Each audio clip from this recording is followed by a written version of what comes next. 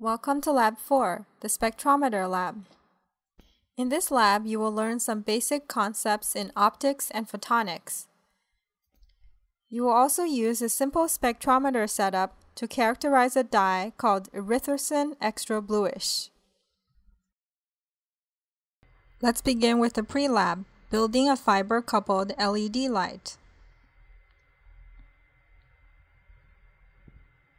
The components of the pre-lab include a super bright white light LED,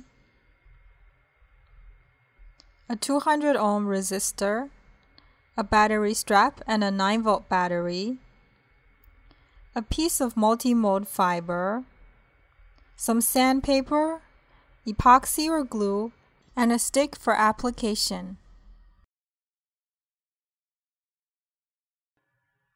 You will need to sand away the plastic in the front of the LED to make better coupling with the fiber. Start with a rough sandpaper and use the finer sandpaper later. You may sand close to the bond wire, but make sure not to break it.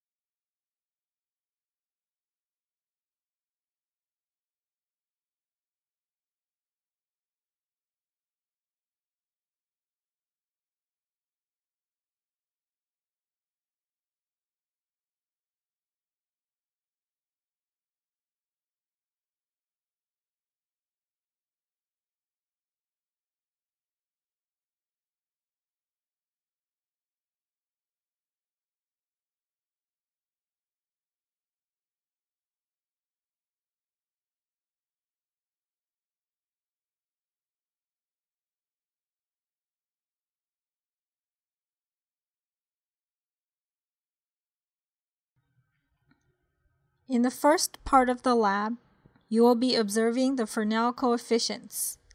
You will measure Fresnel reflections from a semicircular acrylic prism. Here's the setup as viewed from the top.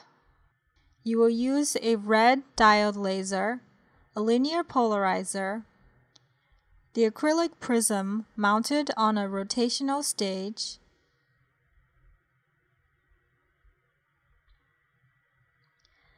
and a high sensitivity power meter.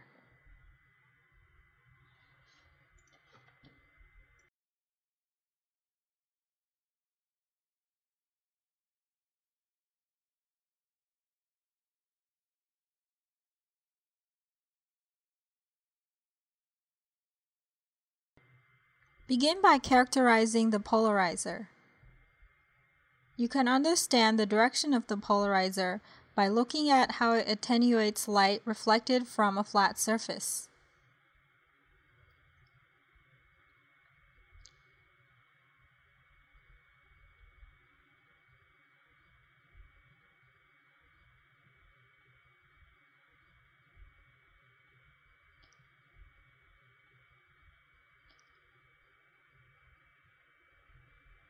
Set the polarizer to pass the TM polarization.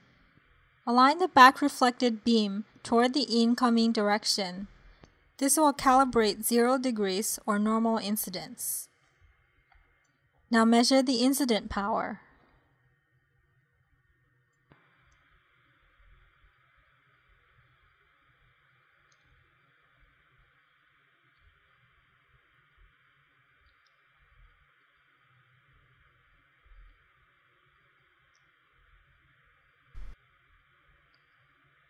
Change the angle of incidence by rotating the stage and measure the reflected power. Note the critical angle at which the transmitted power goes to zero.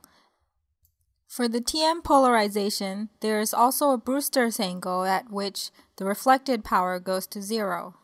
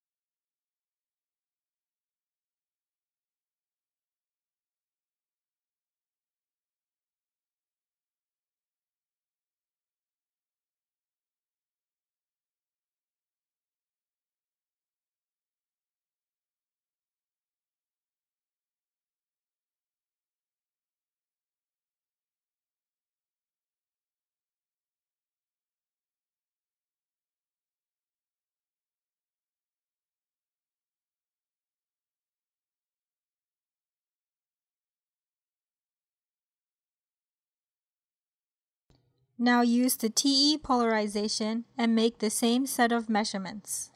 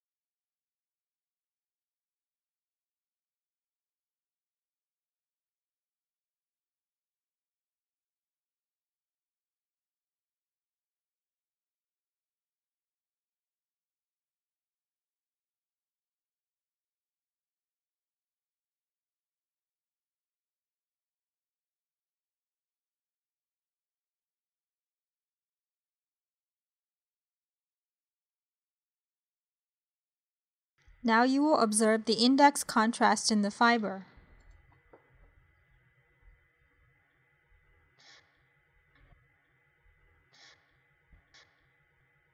Using the LED coupled fiber you made in the pre-lab, the numerical aperture is easily found by observing the angle of the output light that's projected on a protractor. The refractive index of the fiber core is given in the handout. The numerical aperture formula allows you to easily calculate the refractive index contrast.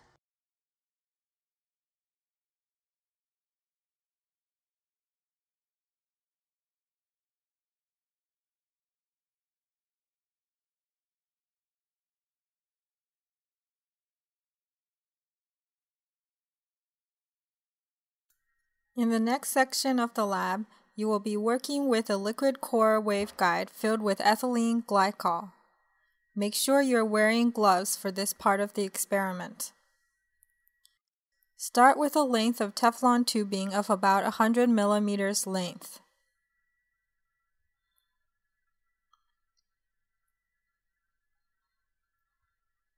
Extract some of the ethylene glycol using a clean syringe.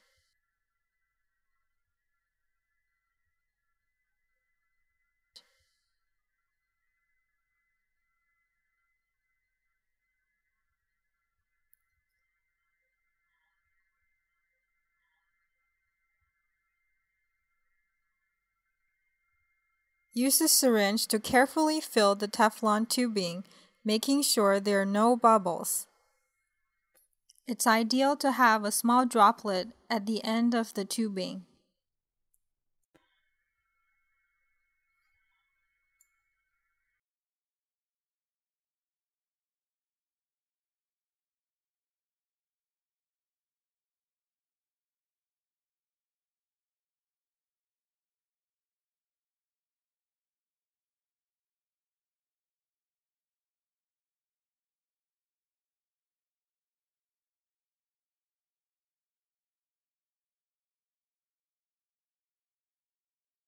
Now carefully place the waveguide flush against a piece of glass glued to a fiber V-groove holder.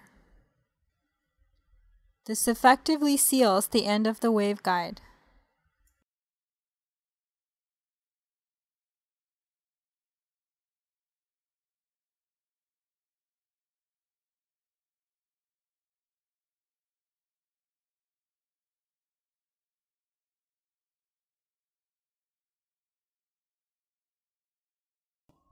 Couple the LED coupled fiber into the end of the waveguide by inserting it into the Teflon tube.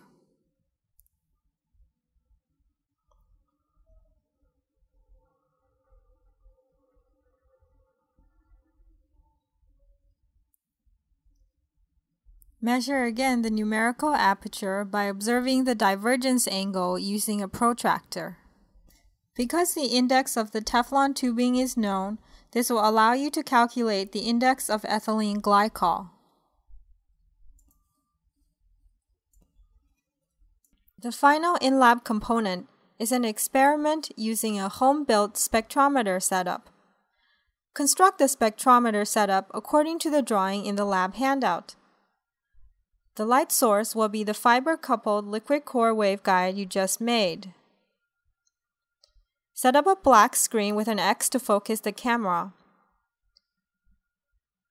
A digital camera. A thin transmitting grating. A flat mounting plate. And four vials of erythrosin extra bluish at different concentrations. Note that vial 4 is just water and used for calibration.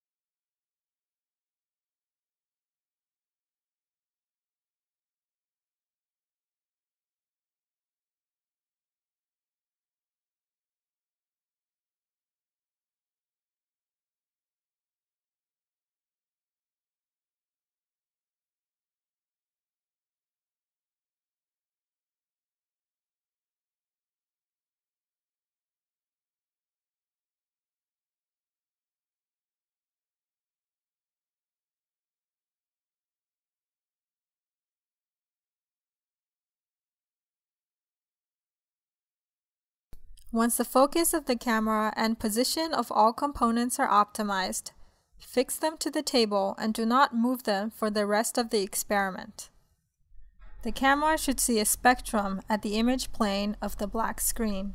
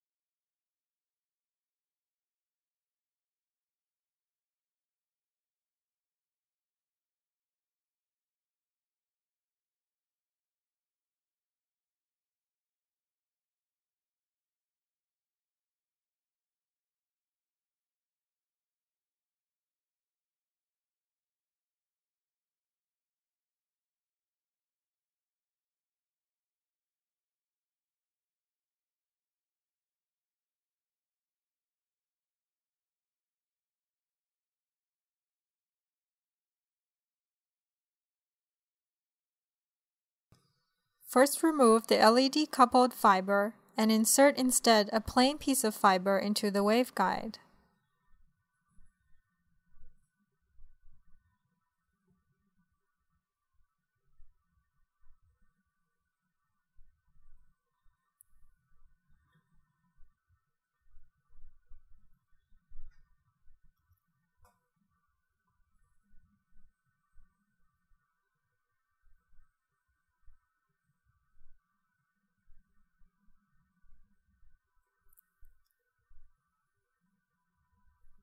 Calibrate the spectrometer by taking data for a green laser at 532 nanometers and a red laser at around 650 nanometers.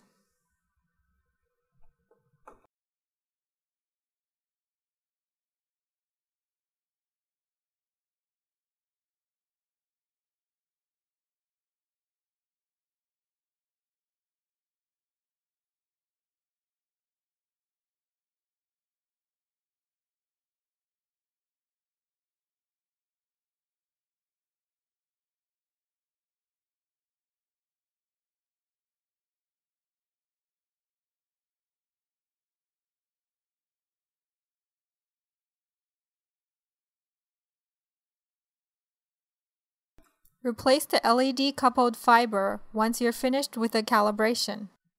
Mount each dye concentration in front of the light source and take the spectrum. Make sure to position the cuvette so the propagation thickness is 1 centimeter long. You will calculate the absorption and molar extinction coefficients in the post-lab analysis.